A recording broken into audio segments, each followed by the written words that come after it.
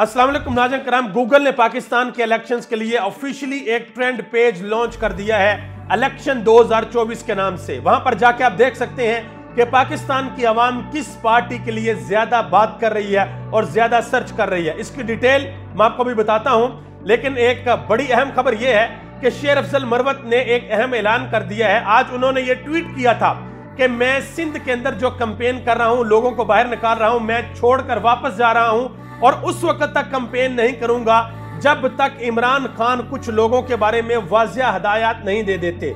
तो इमरान खान का जेल के अंदर से बड़ा ज़बरदस्त किस्म का पैगाम आया और शेर फजल मरवत ने उसको पर ऐलान किया है और सिंध के अंदर लोगों को बाहर निकालने के लिए वो बिल्कुल तैयार हो गए हैं। इसके अलावा पाकिस्तान की जो निगरान हुकूमत है वजारत दाखिला ने यह फैसला किया है कि पाकिस्तान के चीफ जस्टिस मोहतरम काजी फायद ईसा साहब के खिलाफ जो भी सोशल मीडिया पे बात करेगा उनके खिलाफ कार्रवाई होगी और एक जेआईटी भी बना दी गई है। अब कुछ तफसीलात हैं, मैं आपके सामने रखने के लिए जा रहा हूँ, शेयर करने के लिए जा रहा हूँ। और मेरी ये रिक्वेस्ट होगी कि अगर आप लोगों ने वाकई कार्रवाई करनी है तो किसी भी उस बंदे को मत छोड़िएगा जो पाकिस्तान की अदालतों के जजेस के खिलाफ बात करता है। मैं कुछ तफसीलात आपको देने के लिए जा रहा हूँ। लेकिन सबसे पहले मैं आपको यह बताऊँ कि जो ऑफिशियल ट्रेंड पेज गूगल ने लॉन्च किया है, पिछले चौदह दिनों में अभी तक 77 परसेंट जो लोगों ने वहाँ पर जाके चीज़ें सर्च की हैं, वो है पाकिस्तान तरीके इंसाफ की, कि कौन से हल्के में कौन सा उम्मीदवार खड़ा है, किसका कौन सा इंतकामी निशान है। तो पाकिस्तान तरीके इंसाफ गूगल के ट्रेंड पेज पे पहले नंबर पे है 77 परसेंट के साथ। दूसरे नंबर पे है पाकिस्तान मुस्लिम लीग, नून, माशाल्लाह 14 परसेंट के साथ। और तीसरे नंबर पे है पाकिस्तान पीपल्स पार्टी, माशाल्लाह, तीन परसेंट के साथ। आगे आ जाए जी। शेर अफसल मरवत ने आज अहम ऐलान किया। ऐलान उन्होंने इस वजह से किया कि बैरिस्टर गौर अली खान ने एक बड़ा अहम पैगाम जारी कर दिया था और इमरान खान ने भी जेल के अंदर से पैगाम जारी किया था कि शेर अफजल मरवत बहादुर है, नडर है, बस जरा थोड़ा सा जज्बाती है कभी कभी इधर उधर की बात कर जाता है और फिर हमें उसकी वजाहत देनी पड़ती है। बैरिस्टर गौर अली खान ने कहा कि शेर अफजल मरद हमारी पार्टी के हैं, हम उनको ऑन करते हैं रिकग्नाइज करते हैं शेर अफसल मरवत के साथ अगर किसी और का कोई जाती मसला है तो अपनी जातियात तक रखे पार्टी को किसी किस्म का कोई नुकसान ना पहुँचाए। इसके बाद शेर अफजल मरवत ने यह ऐलान किया कि बहुत से लोगों ने मुझे यह कहा कि आपको इलेक्शन कैंपेन बंद नहीं करनी चाहिए, खत्म नहीं करनी चाहिए। जिस तरीके से आप सिंध में गए हैं और सिंध के अंदर जाके आपने लोगों को जगा दिया है और लोग बड़े खुश हैं, आपको अपनी कंपेन जारी रखनी चाहिए तो शेर अफजल मरवत ने कहा कि मैं अपनी कंपेन जारी रखूँगा। कराची के अंदर तकरीबन 15-16 से भी ज़्यादा सीटें नेशनल असेंबली की और शेर अफजल मरवत कराची के अंदर मजीद वर्कर कन्वेंशन करने के लिए जा रहे हैं। पंजाब वालों से उन्होंने कहा है कि आप वर्कर कन्वेंशन रखें, मुझे बताएँ और मैं ज़रूर आऊँगा। अब जरा थोड़ी देर के लिए आप सोचें कि लाहौर के अंदर वर्कर कन्वेंशन हो या मुल्तान के अंदर हो या पंजाब के किसी और शहर के अंदर हो और शेर अफजल मरवत कोई 10-15 शहर पंजाब के अगर घूम जाए तो आप अंदाज़ा लगाएँ कि पाकिस्तान तरीके इंसाफ की कंपेन किस लेवल की होने के लिए जा रही है। आगे आ जाए जी। ये एक तस्वीर आपको दिखाता हूँ। ये जरा तस्वीर गौर से देखें जी। आ, ये तस्वीर है एन ए तीस की और शानदाना गुलजार का ये हल्का है।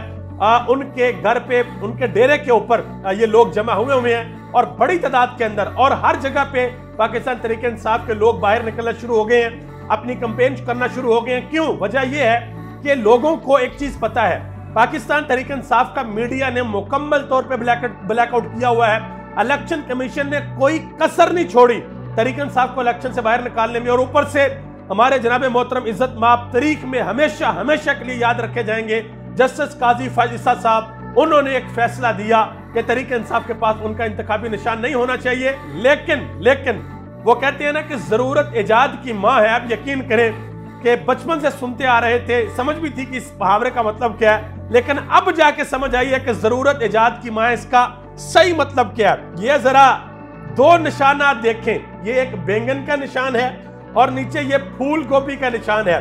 तो देखे लोगों ने उनको क्या बना दिया। भाई, बैंगन के हाथ में बल्ला पकड़ा दिया। छक्के लग रहे हैं। फूल गोभी के हाथ में बल्ला पकड़ा दिया। तो ये आप अंदाज़ा लगा सकते हैं कि लोगों की क्रिएटिविटी किस लेवल के ऊपर पहुँची हुई है। हबीब अकरम ने एक बड़ी अहम बात की है। उन्होंने कहा, जी, इस वक्त मुल्क के अंदर जो हालात हैं, उसकी अक्सी इस तरीके से हो रही है कि गिलगित की बुलंद वादियों पे जो बुज़ुर्ग लोग रहते हैं, जिनके दिलों में आज भी जुल्फकार अली भुट्टो की याद ताज़ा है, उन जगहों पर नौजवानों के मुँह पर सिर्फ़ एक शख्स का नाम है और उस शख्स का नाम है इमरान खान। उन्होंने यह भी कहा कि इलेक्शन हूँ, जितने लोगों ने बल्ले के निशान के ऊपर जितना था, उतने लोग आज़ाद खड़े होकर अपने अपने निशान पर भी जीत जाएँगे। आगे आ जाए जी, जो आगाज़ के अंदर मैंने आपको बताया कि वजारत दाखिला ने यह फैसला किया है कि वो लोग जो सोशल मीडिया पे पाकिस्तान की अदालतों के खिलाफ कंपेन चला रहे हैं, चीफ जस्टिस के खिलाफ कंपेन चला रहे हैं, उन पर सख्त एक्शन लिया जाएगा। जेआईटी बना दी गई है और जेआईटी चार हफ़्ते बाद अपनी पहली रिपोर्ट पेश करेगी। तो ये जरा आप देख लें, मैं सिर्फ़ माजरत के साथ अगर किसी को बुरा लगे तो क्योंकि ये पहले हो चुका है पाकिस्तान के अंदर और रिसेंटली हुआ है। कोई ज़्यादा पुरानी बात नहीं है। अस्सी और नब्बे की दहाई की बात नहीं है। मैं जो सुप्रीम कोर्ट के ऊपर नून लीग ने हमला किया था, मैं उसकी बात भी नहीं कर रहा। ये जरा देख ले, ये एक शख्स ने ट्विटर पे ट्वीट किया हुआ है, अमरांडू जज, जस्टिस आसफ सईद खोसा, और उसको रीट्वीट किया हुआ है मोहतरमा मरियम नवाज़ साहबा ने। आगे आ जाए जी, ये लिखा हुआ है, आसफ सईद खोसा, जवाब दो। और फिर आगे आ जाए, जस्टिस अजमत सईद खोसा। और क्या ये सुप्रीम कोर्ट के जजेस नहीं थे? ये भी तो थे। बहरहाल, ये तो बड़ी छोटी सी बातें हैं। ये जरा देखें। पीएमएलएन के ट्विटर के ऑफिशियल हैंडल से एक ट्वीट हुआ था। मरियम नवाज़ साहबा ने एक हाथ में बैनर पकड़ा हुआ उसके ऊपर लिखा हुआ है खुश आमदीद सात अरब के डाकू आपको देखकर खुशी हुई। ये चीफ जस्टिस उमर अता बंदयाल के बारे में वो कह रही हैं। तो वो तो चीफ जस्टिस थे और ये भी चीफ जस्टिस हैं। अब समझ नहीं आ रही कि जब वजारत दाखिला कार्रवाई करेगी तो वो आ, मतलब कैसे ये फैसला करेगी कि भाई किस चीफ जस्टिस के खिलाफ जो कंपेन है वो चल रही है तो उसके खिलाफ उसके खिलाफ लोगों को मतलब सजा दी जाएगी और दूसरों को छोड़ दिया जाएगा। ये एक मुश्किल सवाल है। आगे आ जाए जी। ये जरा आप देख लें ये माशाल्लाह सारी की सारी पोस्ट जो सोशल मीडिया पे लगती रही है चीफ जस्टिस उमर अता बंदयाल के खिलाफ ये आपके सामने है मुझे डिटेल में बताने की बिल्कुल ज़रूरत नहीं है। आ, ये वो ट्रेंड्स हैं जो पाकिस्तान मुस्लिम लीग नून चलाती रही है ये आप देख सकते हैं। ये सारे ट्रेंड आप देख सकते हैं। ये सारे के सारे ट्रेंड पाकिस्तान की अदलिया के खिलाफ चलते रहे हैं। पाकिस्तान के सुप्रीम कोर्ट के जजेस के खिलाफ चलते रहे हैं पाकिस्तान के चीफ जस्टिस के खिलाफ चलते रहे हैं। तो उम्मीद है ये बात बिल्कुल ठीक है जिस तरीके से वो लोग बात करते हैं ना कि भाई 9 मई को जिन लोगों ने तोड़ फोड़ की गिराव जिलाव किया आ, सरकारी इमारत को नुकसान पहुँचाया बिल्कुल उनको पकड़ना चाहिए और आजादाना तफ्शीश होनी चाहिए और उनको पकड़कर करार वाक्य सजा देनी चाहिए।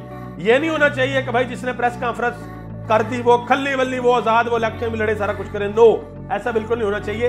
इंसाफ का पैमाना सबके लिए बराबर होना चाहिए। बिल्कुल उसी तरह अगर आ, बना दी गई है जेआईटी बहुत अच्छी बात वेरी गुड पूछे मरियम नवाज़ से कि आपने वो बैनर क्यों पकड़ा था? पूछे कि क्यों उमर अता बंदयाल के खिलाफ ये कंपेन चलाई गई थी? पूछे कि सुप्रीम कोर्ट का दरवाज़ा फिलांग के सुप्रीम कोर्ट के सामने आपने स्टेज लगाया था और सुप्रीम कोर्ट के जजेस को डराया धमकाया था? क्यों आपने ऐसा किया था? ये ज़रूर पूछना चाहिए। आप सबका बहुत बहुत शुक्रिया। पाकिस्तान जिंदाबाद, पाकिस्तान के अवाम और पाकिस्तान के इदारे, पाइंदाबाद।